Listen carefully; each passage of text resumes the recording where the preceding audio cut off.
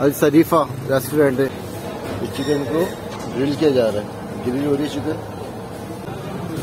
ये इसमें तो बटन लगाइए। चिकन ये आ गई चिकन नहारी एक है।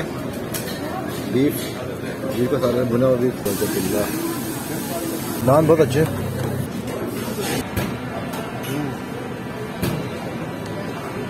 सबसे अच्छा बीफ का बीफ का सालन है। उसके बाद चिकन है। और चटनी का तो जवाब ही नहीं आउट स्टैंडिंग उसके अलावा दाल है ये जो हमने खाना खाया है, आज ये चालीस रैंकेट का था तो मुनासिब रेट है।